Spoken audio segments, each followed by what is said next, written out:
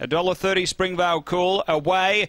Oh, Springvale Cool out well. It's getting plenty of room to move early. Fluence shows good speed going with it though. Fluence and uh, Springvale Cool together. They bumped a bit off. Fluence copped the check and dropped back. Scorch McBain got to second.